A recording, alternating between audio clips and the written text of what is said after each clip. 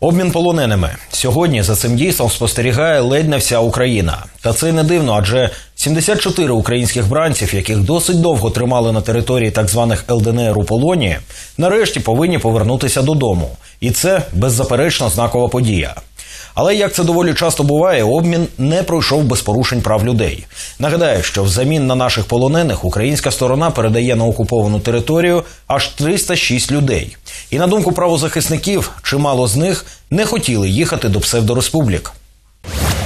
Лінія розмежування неподалік місто Горлівка, Донецька область. Вся увага прикута до контрольного пункту пропуску Майорське. Тут за кілька хвилин проведуть перший за рік обмін полоненими. Планується, що Україна передасть 306 затриманих сепаратистів, а бойовики 74 незаконно затриманих українців. Напруга витає у повітрі до останнього. Уповноважена Верховної Ради з прав людини Валерія Лутковська звіряє списки на обмін. Усі переймаються, хочуть, щоб обмін не зірвався, щоб все пройшло успішно, щоб полонені повернулися до рідних, які чекають їх вдома більше двох років. Просто тільки надія і, і мамине серце так підказує. Що може я сьогодні вже побачу нарешті свою дитину, обніму його, притулю до себе і скажу йому, що я більше ніколи його від себе не відпущу.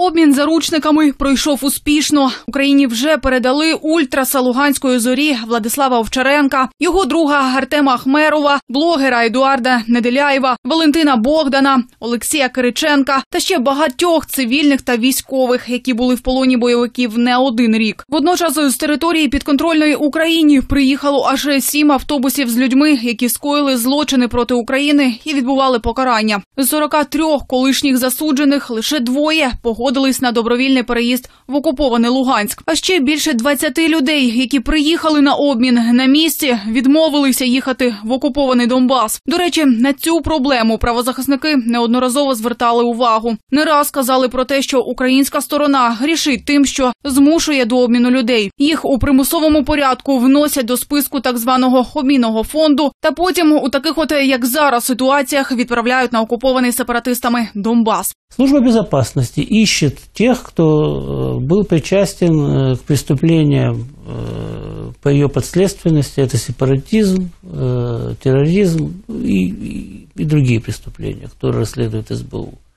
Находит их, открывает против них уголовное производство. А после этого предлагает им обмен.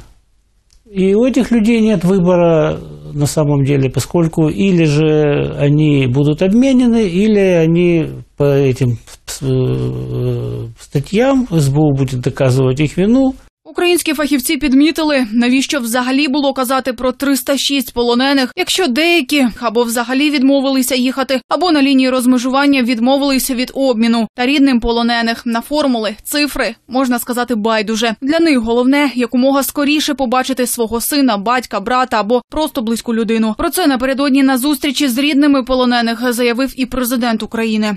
Нічого важливіше за те, щоб повернути наших додому, немає.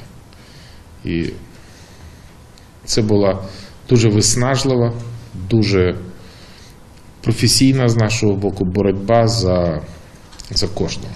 Коли мова про людське життя, цифри відходять на другий план. Головне цінність людського життя. Головне повернутися живим.